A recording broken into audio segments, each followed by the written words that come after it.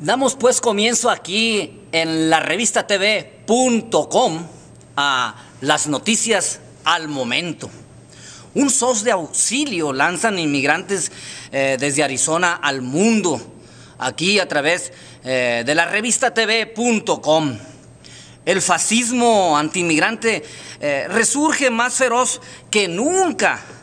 con la nueva ley aprobada por la Casa de Representantes acá en el estado del Gran Cañón, lamentablemente, esperándose pues la aprobación también de dicha norma en la Cámara de Senadores, aunque activistas de los derechos civiles y defensores de los inmigrantes exigirán su veto ante la gobernadora Jan Brewer. Se trata de eh, un proyecto que ya fue aprobado en estos días para criminalizar la presencia de los inmigrantes aquí en Arizona. O sea, prácticamente la presencia de cualquier eh, eh, inmigrante sin documentos significa ser para ellos un criminal. Eh, esto ya llega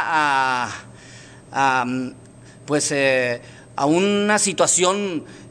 sinceramente vergonzosa para Estados Unidos, que se jacta de ser el país de la libertad, el país de la justicia y el defensor de la democracia en el mundo y de los derechos humanos. Es algo que sinceramente eh, reprobado por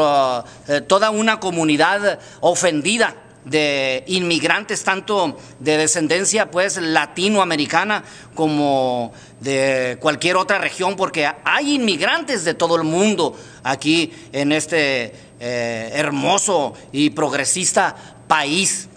Así es que imagínense al sheriff del condado, Joe Arpaio, corriendo para gobernador por eh, el Partido Republicano. Em, pues este señor que eh, es conocido como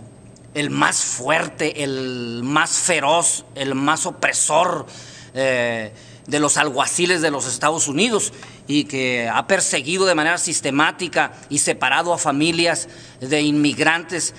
deportando a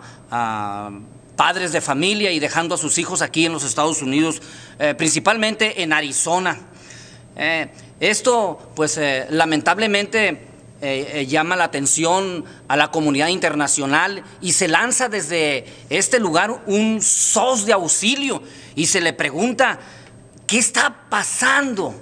con las autoridades de México para defender a sus connacionales. Eh, sinceramente, el presidente Calderón está ausente de eh, eh, cualquier defensa mm, mm, de, manera digna para que no se persiga, para que no se acose, para que se deje en paz a una comunidad de mexicanos, alrededor de 12 millones de latinoamericanos eh, que se encuentran en este país esperando una reforma migratoria que es la solución, no la persecución policial, no pues eh, la criminalización eh, desmedida, extremista de estos grupos de racistas y del fascismo de la nueva época en los Estados Unidos. Así es que Comenzamos eh, en este eh, que es eh, el canal, nuestro canal digital a través de la primera televisión alternativa, que es la revista TV.com, desde acá, desde Phoenix, Arizona, para el mundo, dando a conocer pues los pormenores de una ley fascista, les repito, de algo que está y tiene un una sensación de persecución como lo hicieron en, el pasado contra otros eh, japoneses. Eh, en, la historia se dice, pues, cómo los persiguieron y cómo los deportaron, eh, cómo los lastimaron. Y pues aún así los japoneses han